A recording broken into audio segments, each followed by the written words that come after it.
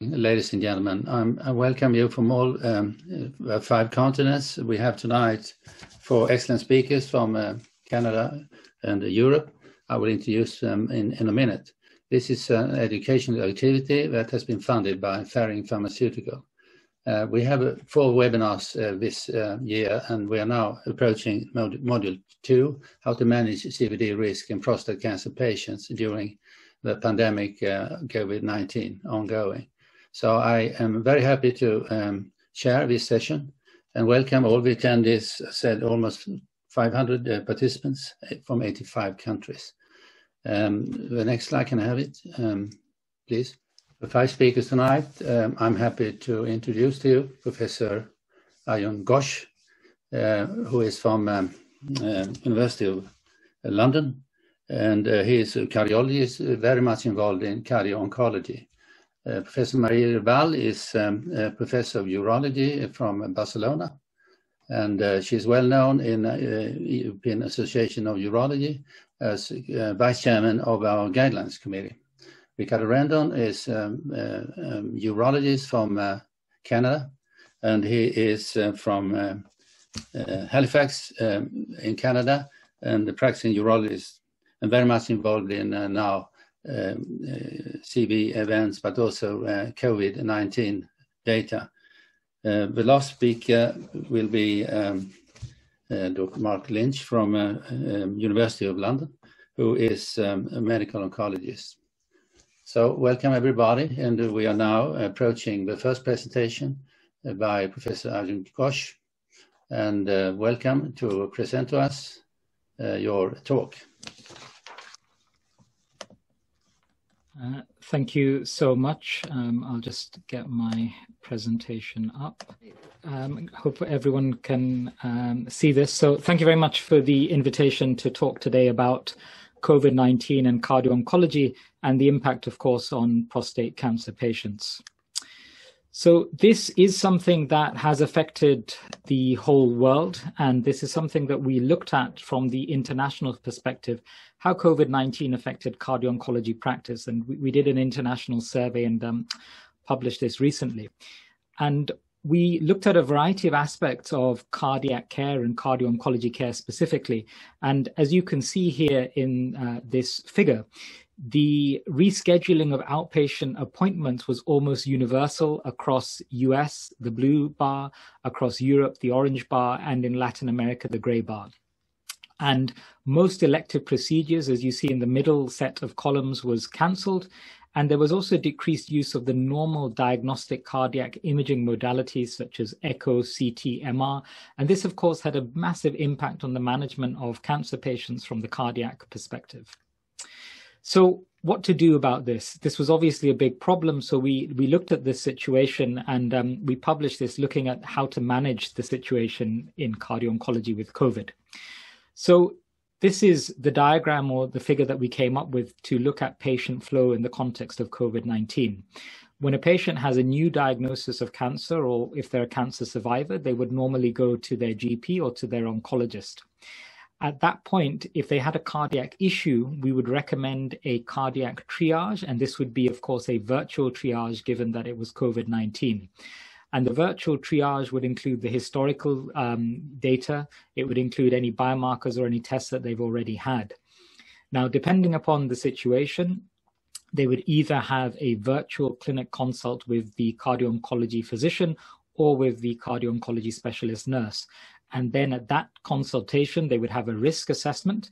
And depending upon their cardiac risk, they would be then assigned to an in-person review thereafter, or they would have another virtual review. So cardiac risk assessment is really the key in this situation. So this brings me, oops, this brings me to the first question. How would we assess cardiac risk in prostate cancer patients? So if we're going for the augmented ABCD approach to cardiovascular risk assessment in prostate cancer patients, which of the following C's is actually not included? Is it cigarettes, cholesterol, cardiac CT or cardiac imaging, or chronotropic assessment? So if you could vote now, please. Okay, great. So um, the results, uh, so the majority think that it's chronotropic assessment. Uh, that's followed by cardiac imaging and cholesterol and cigarettes were tied at last. So the majority did give the right answer, chronotropic assessment. So let's uh, move on to that. Uh, my slide seems to have frozen. Okay, great. So this is the ABCD approach, and this follows on from what's recommended by the American Heart Association for assessing cardiovascular risk. So A would stand for awareness of the cardiovascular risk with a lot of the prostate treatments. Aspirin and arrhythmias would often be given in these patients. B stands for biomarker assessment and blood pressure assessment. C stands for cigarettes, cholesterol, and cardiac imaging. So chronotropic assessment is not part of the uh, C group. D stands for diet, diabetes, and the choice of drug, because obviously which drug is being prescribed from the cancer point of view will have an impact on the cardiac side of things. And E stands for exercise, ECG, and exposure. So this comes on, uh, brings me on to the second question. In terms of the cardiovascular complications that we would like to assess with prostate cancer treatment from the cardiac side, which of the following is not a common potential complication of prostate cancer treatment? Is it valvular heart disease, hypertension, myocardial infarction, or arrhythmia? Please vote now. Okay, so the vast majority have gone for valvular heart disease, 77%, which is the correct answer. So let's move on to the explanation. So these are the common complications of prostate cancer treatment from the cardiovascular side. Myocardial infarction, atherosclerosis, hypertension, arrhythmia, stroke, you know, these, these are common complications. Valvular heart disease is not really associated with any of the prostate cancer treatments. So, in terms of the cardio oncology care, we divided this into different phases um, depending upon the situation in terms of the pandemic. When the COVID 19 was in the pandemic, when we were in the middle of a very strict lockdown, it was really very much emergency care only. And this, of course, had a massive impact on both cancer diagnosis and the management of the cardiac issues with cancer patients. When there was the initial recovery, it was semi-elective uh, patients that were reviewed. Semi-elective uh, tests to, could take place, such as echocardiography and uh, cardiac MRI and other investigations. And in the recovery phase, um, things are probably going to go a little bit back to where things were before COVID. But I think some new changes that have been introduced, such as virtual clinics, are likely to stay. A lot of patients actually found it quite convenient not to have to travel. Cancer patients have multiple appointments for clinic visits, blood tests, imaging tests. So one less physical appointment is actually of an advantage to them. So probably, you know, this is something that will stay to an extent. So in summary, uh, COVID-19 has had a very big impact on cardio-oncology services. The impact has been on the pre-assessment of these patients, on the monitoring of the cancer patients, and also has had an impact on late effects clinics and services. Services at the moment are getting back to normal in the UK from the cardio-oncology perspective. And the augmented ABCD approach can help in all stages of the management of prostate cancer patients. Thank you very much. So thank you very much, um, uh, for this presentation, uh, reflecting what's going on in your field of expertise. I would guess you are a cardio-oncologist rather than a pure uh, cardiologist, right? So, uh, do you hear me now? So let's find out, like, if we have any questions from all our attendees around the world. Otherwise, I have a question for you because you say uh, that in the UK it's back to normal. That's pretty much in terms of uh, cardio oncology, correct? Yeah, and also in terms of a lot of the um, cancer uh, follow-ups and the new patient appointments, a lot of the cancer treatments. So we we are in the middle of the third lockdown at the moment in the UK, and I think um, the approach that we've had has been very different in the three lockdowns. In the first lockdown, it was very much, if you remember the graph I showed, the emergency treatment only, and in um, this lockdown, there was a conscious effort by the government to say that actually Um, cardiac treatment should continue as much as normal as possible. Cancer treatment should continue as far as normal as possible. And the reason being was there were a lot of studies that came out that showed a lot of patients were not being diagnosed with cancer. They were, you know, staying at home. They were afraid, and cancer diagnoses were being missed. Um, heart attacks were being missed. Patients were too scared to come in hospital. So this this time there was a concerted effort to try and have services running as far as normal as possible. But have you seen also various um, various um, less um, patients sent to you and your center from practicing urologists in the UK? Yeah, so I think um, definitely uh, in the first phase that was absolutely true. But as things have moved forward, um, we've definitely got the referrals back. And, you know, I did clinic this morning and the clinic was, you know, uh, overbooked. Uh, so we are trying to, to get back to normal, including the prostate cancer patients. And Mark, one of the speakers on this uh, talk, uh, he definitely keeps me busy with his referrals. That's something we discussed in the first webinar, and that we actually, as practicing urologists, we do less cardiac triage, uh, as you uh, pointed out in one of your slides we are not that familiar with go through all the uh, medicine uh, the, the, patient is on, especially if you are looking at uh, uh drugs related to cardiac diseases, uh, and especially if you have we are taking aspirins or any other drugs related to that. And uh, of course, we don't always ask a very relevant question whether the patient is smoking or not. so I think there is a, a place for learning um, among urologists rather than uh, other specialities in this respect. Uh, do we have any any um, last question for any of the faculty members? Oh, if not, uh, we have to proceed. And uh, thank you very much once again, Dr. Ghosh. Please end us uh, end up in the end because there will be some discussions we need you to be involved in, so to say. We continue. Uh, any questions now? No. Otherwise, we continue with. Uh, Dr. Professor, Professor Maria Ribal's um, presentation. As I said earlier, um, Barcelona is um, a very interesting place at present, and uh, Maria is a truly a Catalan lady. She's going to present a little bit about um, recommendations from the EAU guidelines. Uh, she is a co-chairman of our guidelines um, under the umbrella of the European Association of Urology. So, Maria, are you ready to give your presentation? Yes, I'm ready. Thank you very much. Uh, it's my pleasure to be here with all of you. Although virtually, uh, we are learning a lot about virtual communication. I will explain to you which has been the, the changes done on the guidelines recommendation for the COVID period. I will cover the localized disease since uh, uh, the high risk and metastatic disease will be covered by my colleagues. And uh, the first we should set is those recommendations are not really based on uh, high level evidence because there's no high level evidence how to react in a situation like the pandemic was. So uh, what it was done is just to commissionate a group that uh, tried to put to work all the panel members all together and uh, take advantage of how the guidelines already work. Since we have uh, multidisciplinary uh, teams, we have representations of uh, all over the world, and we use uh, we are used to work with Cochrane methodology, and uh, what we decide is let's try to find some kind of consensus among all these uh, great people working on the guidelines and try to help how to deal with prostate cancer under this situation.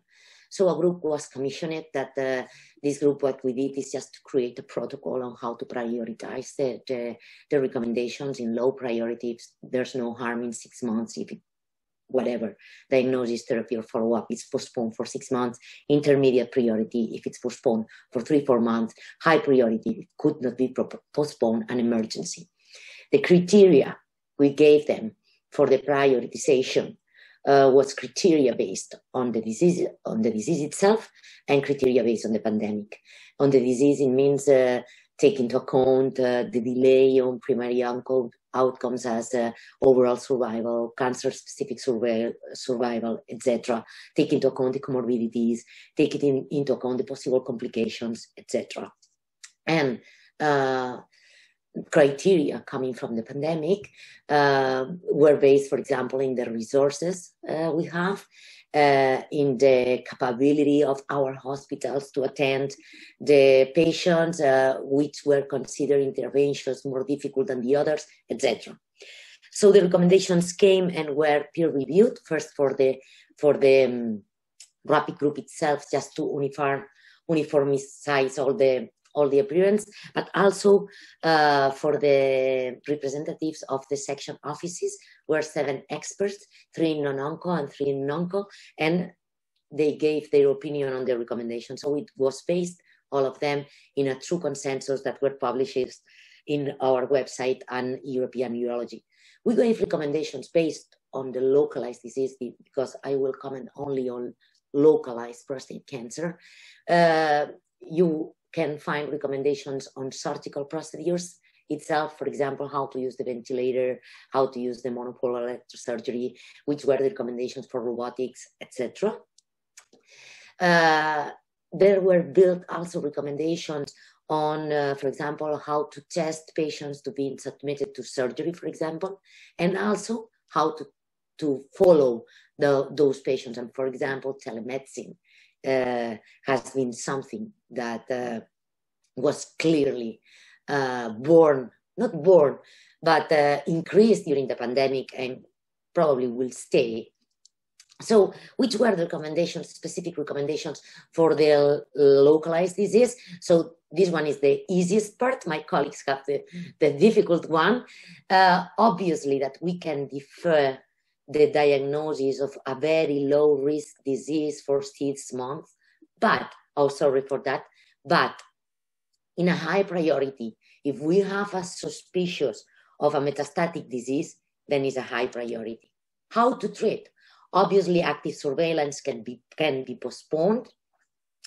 And for intermediate, what we said in the, our guidelines is that, is that um, is an intermediate priority that we should uh, treat uh, with not more than three, four months delay, that the radical prostatectomy could be delayed for three, four months in this suppose of intermediate risk, that don't use neoadjuvant androgen deprivation in the case that you have a surgery uh, foreseen, that if you have uh, a radiotherapy foreseen for this intermediate disease, then use hypofractionation, starting the neoadjuvant ADT that could be prolonged for six months, and avoid uh, invasive procedures.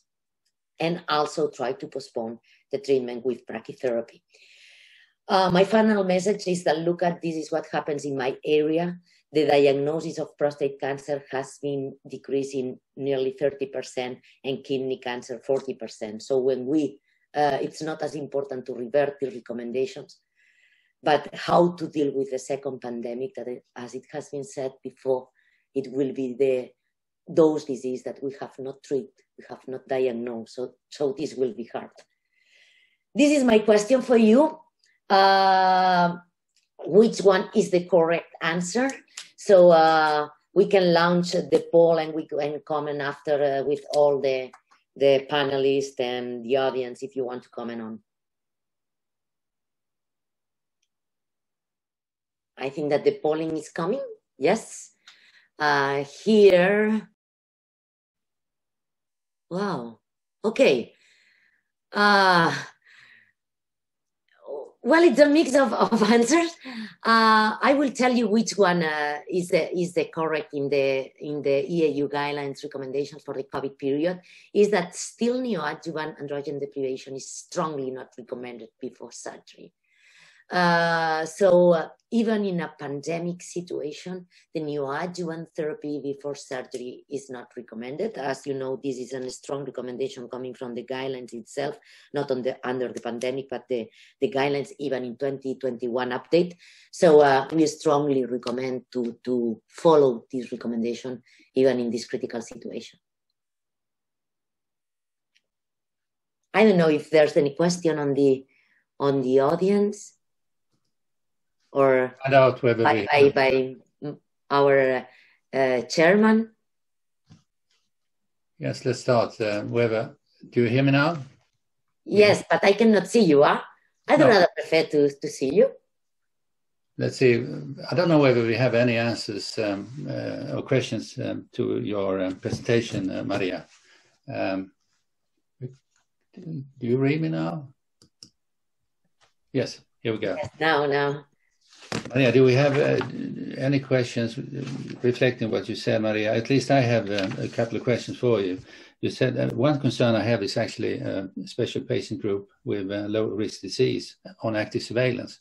Uh, if we delay our checkups too long, it may be a risk in the long term run, but I don't think it's high risk. But how do we cope with that um, cohort of patients, Maria? Well, for active surveillance, in fact, you can delay the follow up for six months because it's the period that you already established for follow up. So mm-hmm. it's uh, not difficult. And I completely agree with uh, uh, Arjun that uh, we are learning from the, the previous wave. And for example, also in our hospital, we are now taking care on not delaying oncological procedures, etc. So we are rescheduling everything. We are facing the fourth wave here in Barcelona. So, uh, and we maintain as a priority the oncology, but for sure, that we will have a delay in a global diagnosis in prostate cancer. And uh, it's not the low risk disease what uh, worries the most, but uh, the high risk, for example, or metastatic disease. Well, if there is um, a patient on active surveilling with rising PSA and other perhaps parameters that uh, create an incidence or create actually uh, a role for um, rebiopsy, um, perhaps followed also by MRI. If you, we talk about rebiopsies, there is of course uh, an increase in risk if you have a COVID. So I think testing should be mandatory in these patients. Yes, sure. Um, and unfortunately, we have problems with testing around the world. I think how is the situation in Spain in general? For testing uh, patients, patients that are going to be submitted to uh, any procedure are all of them being tested, mm-hmm. But uh, not in a general population. If you mean that, in the general no, population, no, not... we're talking about prostate cancer. No, no, no. For prostate cancer, we we can test them. Mm-hmm. All the patients that goes to surgery or goes to invasive procedures, all of them are tested. Mm-hmm. For example, now we have started a, a, campaign for vaccination in our hospital, and we are going to give priority to all oncological patients that have already received an oncological therapy, systemic therapy in the last year. All right. So, if you talk about decreasing decreasing incidence, like you uh, uh, showed from Catalan territory in Spain, um, we have also found that interestingly, most Nordic countries and Scandinavia less than, uh, well, less than 35%, a little bit more than you find. But have you found also a decrease recently that the incidence of prostate cancer is going down? Mm, not not generally, just only because of the COVID. Yes. And and and yes, because of the COVID, uh, the, the decrease is uh, 30%, and for renal cancer is 42%. Oh, so uh, uh we are trying in our area also to work on that, not only for the COVID, but we are trying to to to implement the screening, uh, rational screening uh, schema that the EAU is already defending.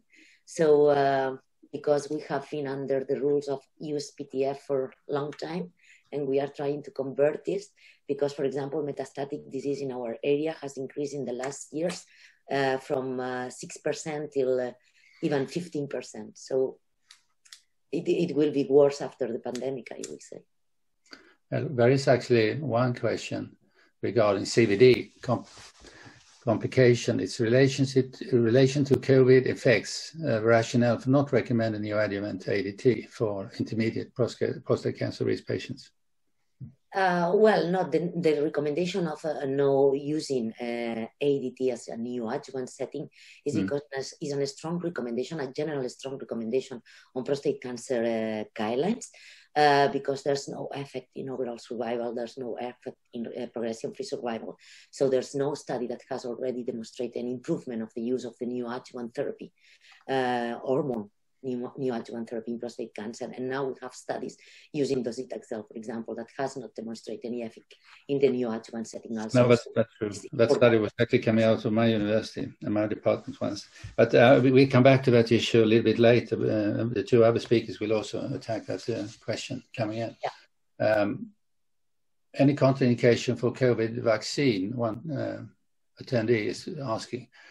Um, patients are waiting, receiving radiotherapy We have no any formal contraindication for the vaccine except you are allergic and we don't know who who they are. So uh, uh, not for oncological patients. All of them are already uh, recommended uh, to be submitted to the vaccine. We not uh, actually discuss whether or not one vaccine is better than the other. Then we are uh, hitting no. deep water. That's not Absolutely. my job here today. Yeah. okay, good. Thank you very much. I think we better sake of time. We have actually two, three minutes left. Do we have any any remaining question to Maria Ribal, actually from the faculty members? Please um, announce it. Put your phone on. Maria, it's uh, Ricardo here. Uh, what about MRI services, or maybe for everyone in the panel? Uh, were they severely decreased? Because we were quite affected by MRI usage, particularly. Yes, it's true. In the first part of the pandemic, in March last year, we have uh, very important problems with not not MRI but also CT scans, for example. Yeah. So because uh, all of them were already used for diagnosing the COVID, so uh, uh there was a great problem on that. Um, now, uh, since we are learning from one wave to another, we are trying to create some kind of mechanisms to understand which patients should be submitted to imaging uh, with priority. So we are learning uh, not to collapse everything and to create some kind of priority. But mm-hmm. it's true that at the very beginning we have a long delay on imaging. Yeah, one thing that we did here as well, it was uh, we met with the Department of uh, Radiation uh, Radiology and uh, so now we have to add a lot more clinical information and the rationale for the timing, which is something that we just used to request an MRI or something. So I think it's something good is going to come out of this because I think all this information is going to help the radiologist report better. We do the same. We do yeah. the same. Any more questions from the panelists? No questions from uh, Mark Linch, or uh, we are coming back to some of the issues regarding uh, hormones and ODT and CV risk, etc. later. Um, I don't think we have more questions from the attendees, actually. Um, we have one. We have time for it, actually. I think this is one. No, we're going to answer that question later, possibly. Okay, Maria, thank you so much for sticking to the time and some very good slides and presentation indeed. So we move on, actually. Thank you. So we move on to uh, next uh, uh, professor, uh, Ricardo Rendon from Halifax in Canada, and he is a practicing urologic oncologist. And uh, so managing localized, locally advanced disease with, um, in terms of high-risk prostate cancer during the COVID-19 pandemic. Please welcome uh, Ricardo Rendon. Thank you, Professor Abrahamsson. So uh, the CUA is uh, uh, very excited to work with ICOS and, and EUA. We've been collaborating with EUA uh, for quite a while, but now doing an educational event, uh, we're very excited. So um, just like every other uh, group in the world, we started to look at this problem from an acute phase point of view, and we were all start to started to scramble um, what we were going to do and make uh, recommendations in our specific areas because uh, we all have a very different uh, healthcare system. So um, what we produced back in uh, March of uh, this 2020, it was a multidisciplinary group including medical oncology, radiation oncology, urologic oncology, radiology, pathology, and those are our Canadian guidelines uh, that were posted in our website and uh, they were published. There were multiple other guidelines, including uh, the EAU guidelines, as uh, Maria uh, just uh, presented. And there is a recent international consensus. it wasn't very clear to me. It was just published in November of 2020 in BJUI and it wasn't clear to me as how it was uh, established a consensus and uh, we'll talk a little bit about that consensus and multiple other ones. So just a couple of things that i'd like to address. One is we have we're clinicians and we have to remember our patients come first and the COVID pandemic has reshaped social structures and healthcare delivery uh, completely. So, and we're all learning as, as we go. And it has been shown clearly that uh, we have to be very careful with the psychological stress of the patients, not only the one placed by the pandemic, but also cancer diagnosis, cancer treatment, and you have to add to that the cancer delay. So we still have to stay more in tune. So my job for today was to discuss surgical and uh, radiation therapy considerations for uh, very high risk and high risk disease. So I have a question first. Let's assume that in your center, the waiting time for surgery for prostate cancer is, is long. And what would you be your ideal treatment for a 55 year old man with a Gleason 8 large volume, PSA of 17, and clinical uh, stage T2B with no metastases. So one, would it be close active surveillance with PSA and MRI, or neoadjuvant uh, ADT followed by surgery, referral for surgery to a regional COVID-free center, ADT with hyperfractionation EBRT, or high-dose rate brachytherapy plus external beam radiation plus minus ADT. You can vote now. So this is a 55-year-old man with a uh, high risk uh, prostate cancer, Gleason 8, and a PSA of 17. Uh, so please uh, vote uh, now. Okay, so uh, that's a good point. a referral for surgery to a regional COVID-free center. Um, and the second one was ADT plus hyperfractionation. So I can see that that Maria already made an impact in the audience. Um, So this is a good concept. I we haven't been able to uh, develop that in Canada, but uh, there's a recent uh, recent publication showing that urological con consultations uh, and surgery should ideally be centralized in a tertiary tertiary urological center that should uh, remain free of COVID, or if not, create a path in a particular sur uh, surgery hospital that is free of COVID. I am not aware of any uh, center like this in Canada, and maybe uh, we can discuss later to see if uh, there are any other examples around the world that can uh, help us uh, figure out how to do this. In terms of uh, surgery, there is plenty of data showing that a delay from three to six months is not going to make a difference in the long-term results. Our recommendation was to consider delay for up to three to six months from diagnosis.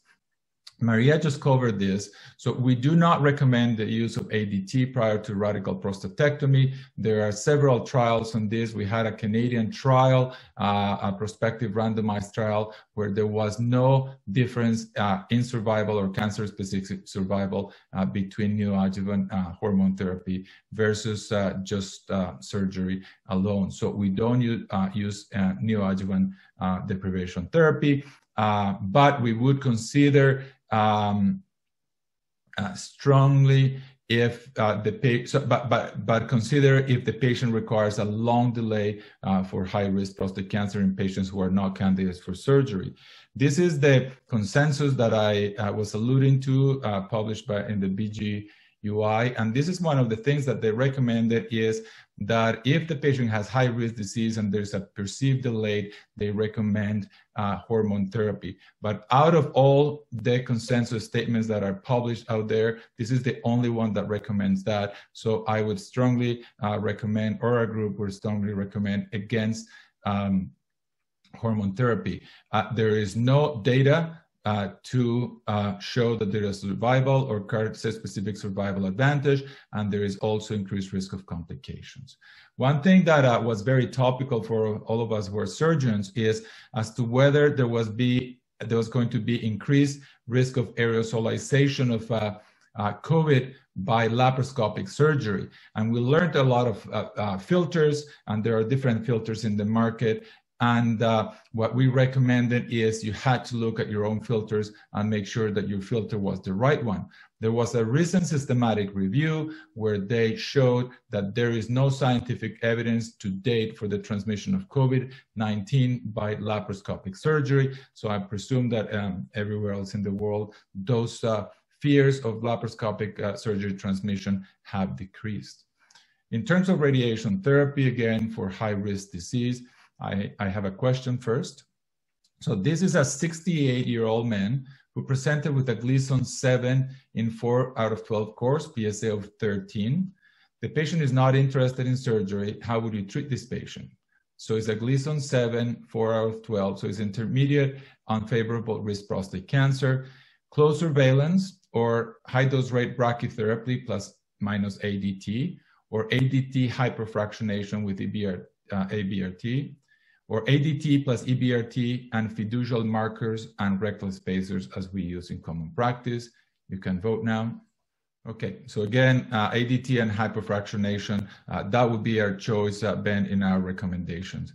Uh, there is another uh, possibility, which is that with the fiducial markers, but we'll talk about that in one second. So uh, our recommendations are uh, based in uh, current guidelines. Is, as you know, the RTOG 9910 uh, study showed that at least four months of uh, hormones are adequate for unfavorable um, intermediate risk uh, prostate cancer. So that would be our recommendation. And those patients who have high risk prostate cancer should start ADT.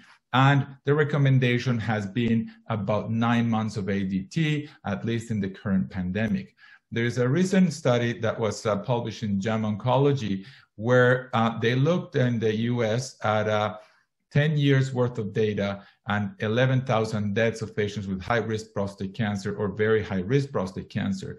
And you can see here in the right side panel, you look at this is the time of initiation of hormones relative to um, radiation relative to the initiation of hormones. And you can see this is 60 days before um, uh, receiving radiation. This is at the time of radiation, at the end, 180 days. And there is no difference in a 10 year overall survival the, uh, based on the timing of initiation of hormones.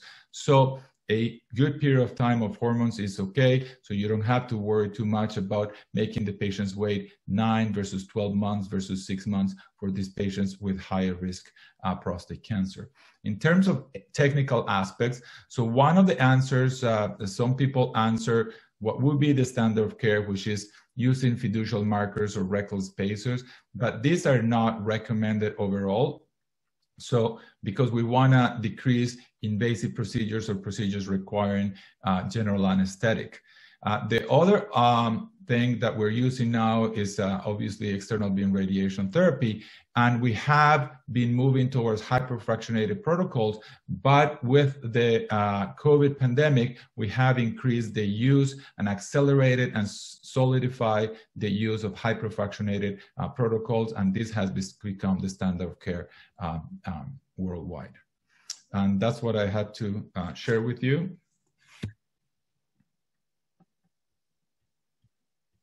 I don't know if there are any questions.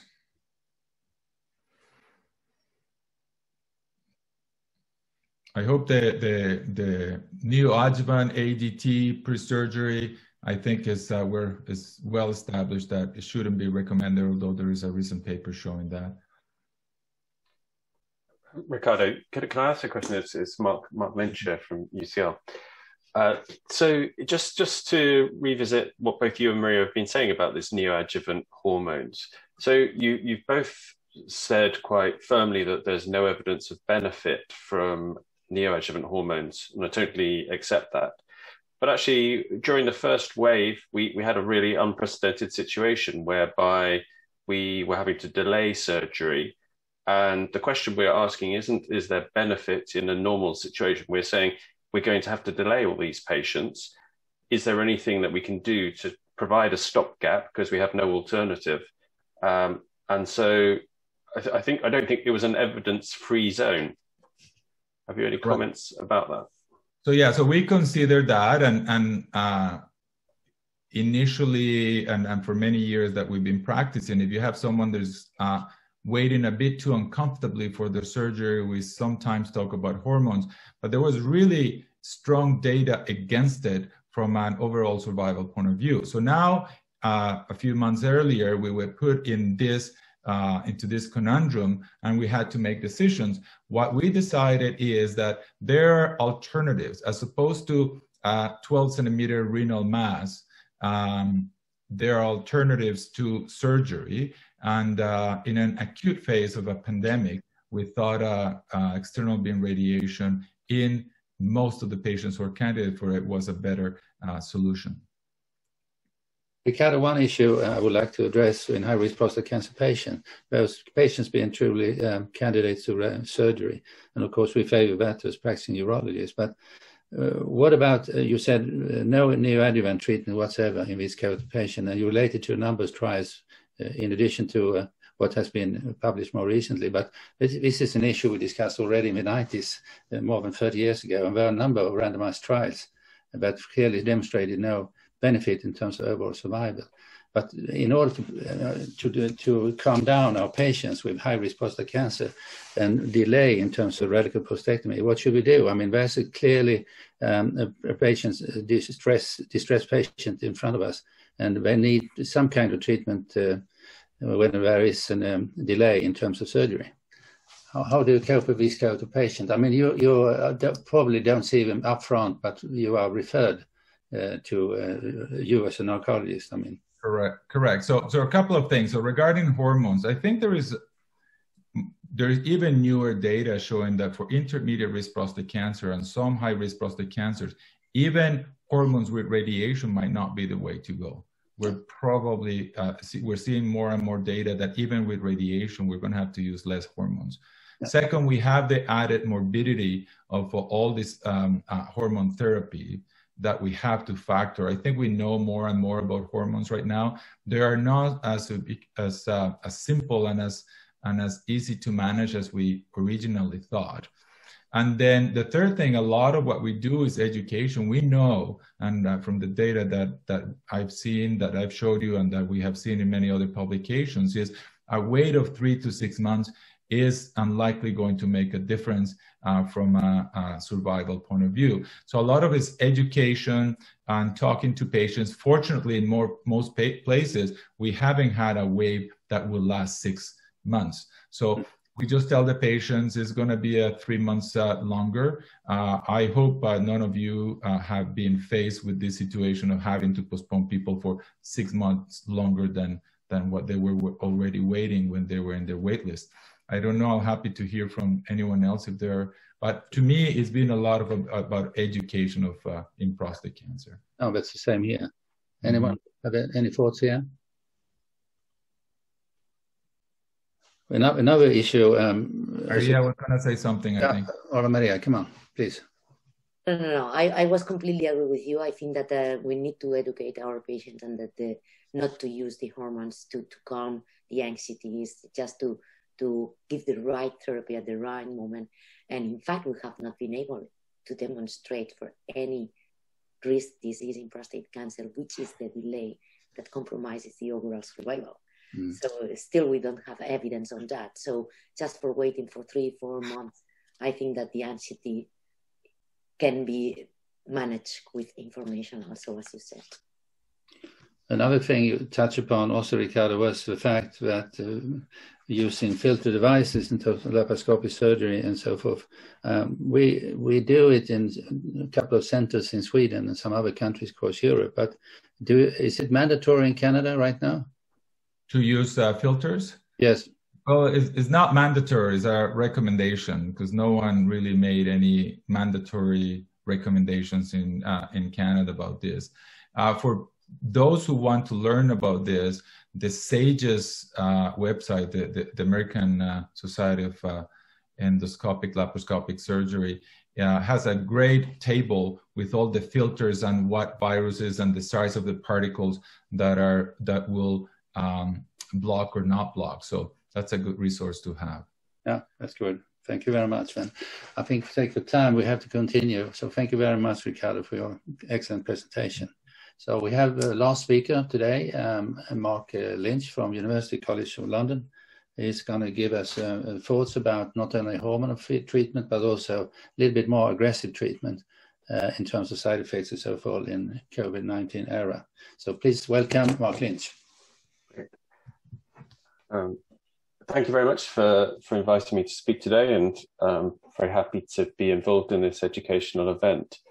So I'm going to try and weave together some of the information we have in terms of cardiovascular risk factors and COVID in advanced prostate cancers.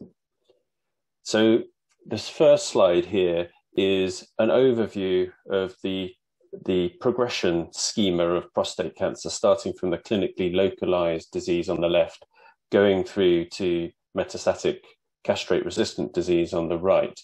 And so this would be very familiar to, to those that treat prostate cancer on a regular basis. The purpose of this slide really is just to show about the explosion of different treatment options. So the treatment landscape of prostate cancer. This is not only in the metastatic castrate resistant prostate cancer setting, but also bringing it forward into the non-metastatic castrate resistant setting and the metastatic hormone sensitive settings. So you can see there's a mixture of hormones, chemohormonal therapy, but more recently, we've got radionuclide therapies, several different options, and we've got immunotherapies. So this talk, I'm going to focus mainly on hormones, but also just going to point out a couple of other things, including immunotherapy. So this slide is to show, just particularly for hormone therapy, that, that there's been a changing landscape. And we've shown that second generation hormonal agents like enzalutamide, like abiraterone, are effective in prolonging survival and managing symptoms. But if we start on the right hand side here, and this is the AFFIRM study looking at metastatic castrate resistant disease, we have a, a survival benefit measured in a few months.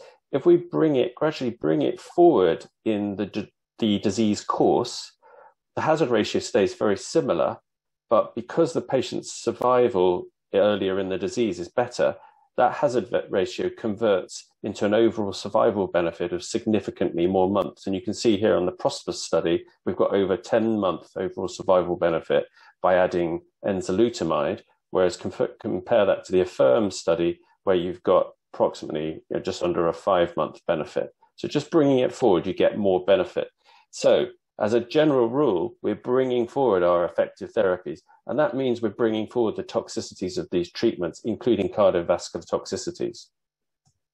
So, what are the cardiovascular toxicities? Well, looking at one of these trials, this is the ENZAMET study, which is looking at the use of enzalutamide plus ADT in newly diagnosed hormone sensitive uh, prostate, metastatic prostate cancer. And I really just want to draw your attention to the toxicities in this right hand side of the slide. So the major serious toxicities, the grade three to five toxicities, are actually cardiovascular problems. So hypertension, syncope possibly could be related to cardiovascular, myocardial infarction, and chest pain from a cardiac cause. They're all more prominent with enzalutamide. That was a single study. If you look at the meta analysis, looking particularly at abiraterone and enzalutamide. So these are the two main second generation uh, hormonal agents that we've been using for the treatment of advanced prostate cancers. And actually, what we can see is that all grade cardiovascular toxicity for these two agents is more significant for if you if we're having the, the second generation hormonal treatments compared to not. The serious toxicities are significantly more. And uh, you can see that this is 3.7 versus 2% for cardiovascular toxicity as a whole, and hypertension, particularly 6.1 versus 3.1%. As a rule, abiraterone has got both cardiovascular toxicities and hypertension, whereas the enzalutamide is just uh, predominantly hypertension alone. So we changed the guidelines in response to COVID. And so there's two things I want you to take away from this slide. The first one was just generally for systemic anti-cancer therapies. And what it really meant is that because we were limiting resources and because we were concerned about the potential risk of making people immunosuppressed during particularly the first wave of COVID, uh, we, we had to we integrated this priority level. So we had six different levels for systemic therapy. And at our institution, we judged that we would have to stop levels five and six. So we weren't treating people unless they they are having uh, a palliative systemic therapy, which was going to give at least one year life ex- life extension. If they're having less than one year, we wouldn't treat, and we were not treating with systemic therapies that only gave a palliative benefit. Then there were some interim COVID 19 guidelines which came out from NICE. So that's our efficacy and cost effectiveness agency. And the interesting thing that, that they showed for prostate cancer is they gave us access to the second generation hormones, enzalutamide, for hormone sensitive disease. Whereas previously, based on the STAMPEDE study conducted in the UK and Switzerland, we, we gave docetaxel in this setting. So we stopped giving docetaxel for these patients and switched it to enzalutamide. So we would perceive or consider that there'll be more enzalutamide toxicity as a result of this COVID-19 change. Subsequent to this, a number of papers have come out looking at the, the risk of COVID in patients who've had hormonal therapy or chemotherapy. And this is actually predominantly chemotherapy. And it looks as though chemotherapy doesn't contribute to worse outcomes for COVID 19 at least in solid tumor malignancies, including prostate cancer, it looks as though outcomes may be worse in hematological malignancies. Very early on in the, in the epidemic or pandemic, there was a concern about steroids, and we use a lot of steroids in the management of prostate cancer. And in fact, this advice from CDC and WHO back in February, early March of last year said to avoid corticosteroid therapy. And this was about concern about the Middle Eastern respiratory syndrome, showing that influenza had a delayed viral clearance with steroids. So that was the initial guidance. And this came out in a number of guidelines, including rheumatological guidelines, um, respiratory guidelines. And there was a feeling amongst oncologists that maybe we should decrease the amount of steroids that we were giving. Actually, we came out and said something very different. That we didn't think that was a very safe thing to be doing. We think there were beneficial anti-cancer effects of both physiological doses of steroids and supraphysiological doses for acute things like cord compression. So we we uh, implored a case-by-case decision and saying that steroids have important benefits. And I think some of that was justified in subsequent recovery study, which is shown here on the right, which was using dexamethasone in an ITU setting or in the setting of high dependency where patients with COVID were being and on a ventilator were being treated. And it showed that there was significant reduction in hospital stays and outcomes associated with, or improvement in outcomes associated with dexamethasone therapy. So the other thing that the guidelines have showed are these are our interim COVID guidelines. Also said that we ha- we would have access to immunotherapy. Now that's this is predominantly from the, tr- the treatments that or the conditions I treat. This is in uro- uh, urothelial malignancies, not prostate cancer. However, we did continue to treat immunotherapy within clinical trials. So we've continued to do this pretty much throughout the pandemic, except for March and April of last year. And this is one of the toxicities that we've encountered. And so this is again weaving into potential cardiac toxicity. So a 62 year old man who presented with very high PSA, nodal and bony mets, had had previous ADT as a monotherapy and then moved on to enzalutamide in the setting of castrate resistant disease. And the patient went on to a study of both nivolumab and ipilimumab. As expected with these kind of treatments, this the PD-1 inhibitor and the CTLA-4 inhibitor, did get some toxicities, including thyroiditis and some mild colitis. The patient was then admitted, and this was uh, this was about 12 weeks after starting treatment, admitted with some chest pain, shoulder pain, and breathlessness. And the concerns at this time is could this be an MI? Could this be a PE? The ECG had shown a sinus tachycardia, the troponin was normal. The CTPA had not demonstrated a P, but there was an incidental finding of thickening of the aorta. So an FDG PET scan was performed, and I hadn't seen these scans before, but uh, in, in this setting, but I was I thought they were a beautiful picture, so I wanted to share it with you today.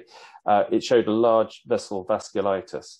And so this is at the top here. You can see the, the green FDG avidity around the intimal layer on the left, and you can see that it's the arch of the aorta going to descending aorta right down to the diaphragm on this picture. Um, the patient was treated with steroids successfully, and this is take this is the scan six months later with complete resolution of those radiological changes on the PET scan. So my conclusion is there's a plethora of new agents for the treatment of advanced prostate cancer. Each has a different cardiovascular toxicity. COVID 19 has led to less use of chemotherapy, but more use of hormonal therapy.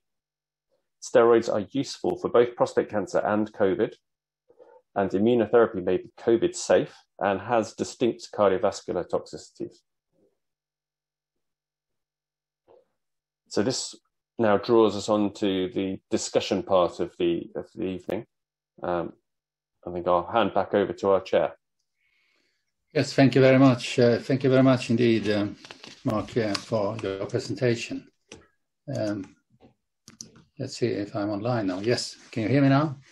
Uh, I think uh, is related to to uh, COVID-19, of course.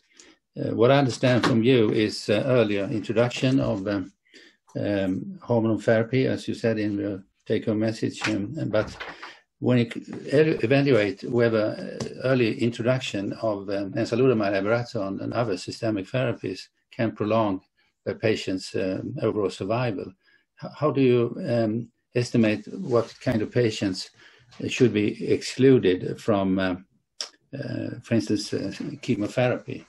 Uh, and uh, how do you estimate uh, life expectancy in these patients? Whenever, whenever you introduce, I mean, uh, systemic therapy. You said also in the beginning there is a trend toward, towards early introduction using enzalutamide and abiraterone, and that trend has perhaps uh, now been diminished a little bit due to COVID-19. Is that true? So, so actually, um, our experience in so I think introducing earlier hormonal therapy is is being governed by the evidence base. We, we've seen that by bringing it forward in the treatment course, we can get more benefit from the same agent. So we've been trying to introduce it earlier and earlier, um, notwithstanding the toxicity. And that's obviously the most important consideration is how do we counteract or protect from getting those toxicities. And that's why uh, Dr. Ghosh uh, is highly uh, well, busied by our practice. We try and engage him at an early early point to make sure we can overcome any potential long-term cardiac toxicities. Uh, so we know that overall survival benefit is is there using it earlier, and, and I think the COVID guidance has actually given. It just happens in the UK. It's given us greater access to use these agents. So we've certainly been using those more. In terms of how that governs uh, our our outcome and our overall survival, I think that's been guided very nicely by by the clinical studies, and we now know that um, you know, we can now estimate that patients who've got metastatic disease in this setting, their life expectancy would be measured in, in certainly more than three years using these approaches. Hmm. Well, a mandatory question is about using steroids in, in patients with COVID-19 because we have found uh, many reports that COVID-19 uh, there is also treatment including steroids and um, it can be interfere there can be interference. Well, what's your point in terms of steroids and COVID, as you alluded to earlier? So, so I don't think there has been data. There, there's not been information to show that the use of steroids actually predisposes to um, worse outcomes with COVID in terms of more likelihood of becoming infected or increasing the duration of infection. And certainly, that recovery study, which is a, was a UK based study, which has, has clearly shown that in patients who are started on high dose steroids at the time of requiring mechanical ventilation, get imp- shorter hospital stays and a higher survival. So, my point is continue to use steroids when you think it is appropriate oncologically.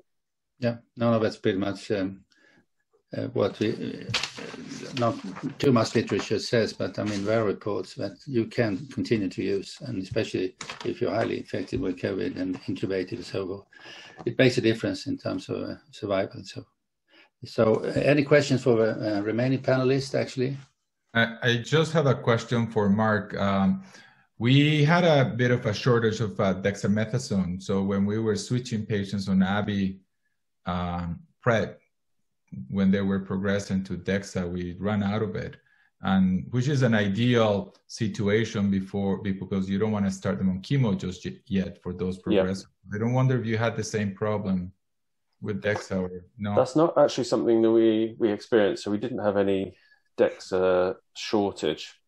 Um, I'm not sure why that that is. Why why you would have had it and we wouldn't. But no, so it's not something that I can comment on really. Okay. Uh, there was, there's, I, I, would like to just comment on the vaccine question that was asked earlier by one of the audience. So, the, the, the UK chemotherapy guidance group have have come out with some guidelines about vaccinations in conjunction with chemotherapy, and essentially it's to affirm that we we don't have any con- concerns about having the vaccine for patients during chemotherapy the advice is just broadly empirical. We said try not to have it within 24 hours either side of having had the chemotherapy. Having said that, the King's Group in London have recently published uh, non peer reviewed data which shows that outcomes in patients who are having chemotherapy may the um, the response to the vaccine may be impaired.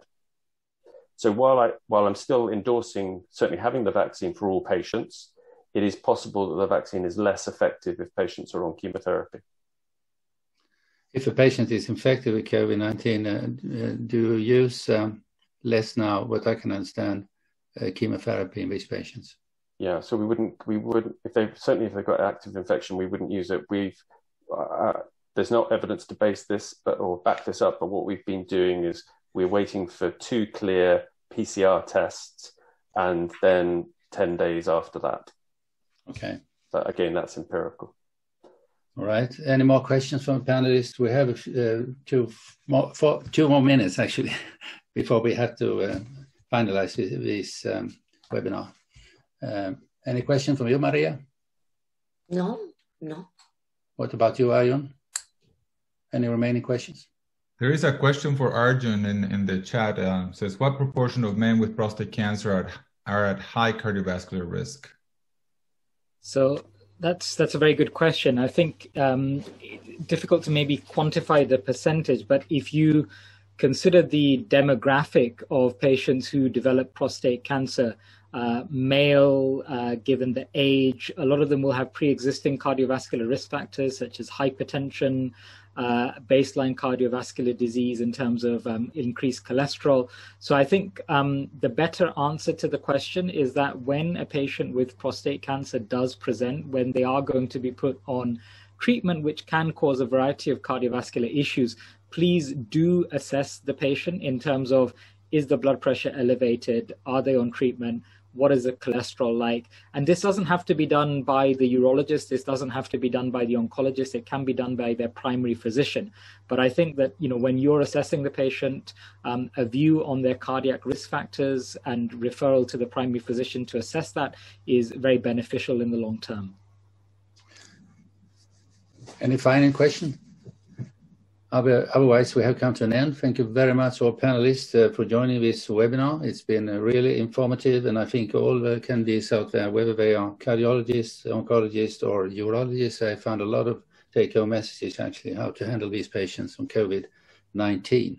So thank you very much, all of you. I would like to have a final slide to introduce the next webinar. Yes.